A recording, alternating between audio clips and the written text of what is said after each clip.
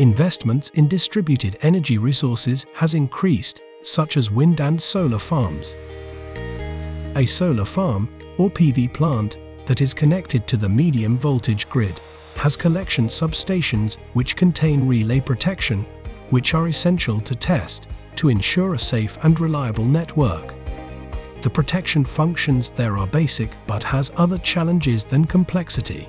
For example, the frequency tests, the frequency standard, developed by IEC require that ramp tests should be continuous, which was not common practice in the past.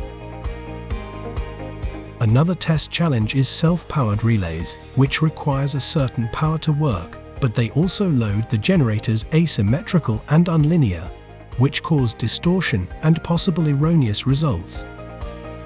The SVERKER 900 has been designed with the three-phase test requirements for protection in renewable plants in mind.